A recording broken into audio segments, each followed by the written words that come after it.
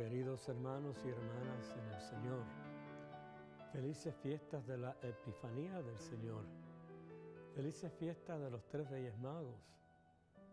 Hoy la Iglesia nos invita a caminar con los magos de Oriente hacia el encuentro con Jesús.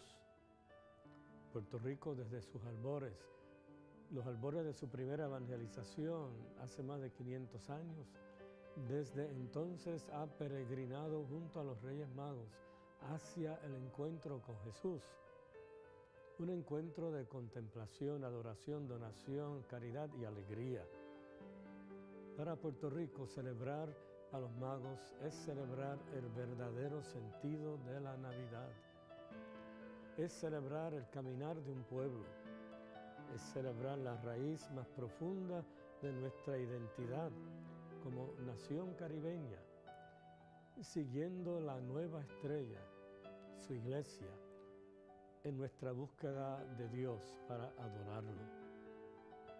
Hoy los Reyes Magos nos enseñan que siempre es posible encontrar al niño Dios, que lo que necesitamos es ponernos en camino, reconociendo su estrella, dejarnos guiar por esa estrella y permitiendo que nos ilumine aun cuando las tinieblas nos acechan.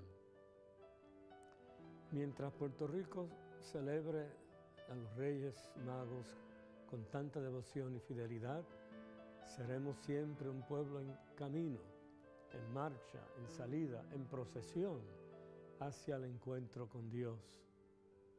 Puerto Rico nunca debe permitir que esta fiesta desaparezca de su cultura, de su piedad popular, de sus expresiones artísticas.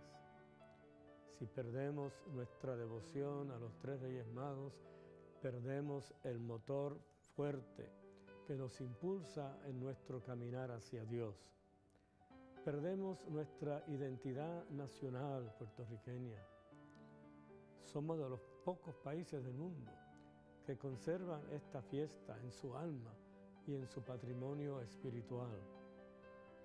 Ahora, si no estamos atentos con la secularización y el materialismo, el consumismo, podemos perder nuestra identidad, lo cual depende de cada boricua. Celebremos una vez más la Epifanía del Señor con amor y ternura transmitámosla a nuestros niños y niñas.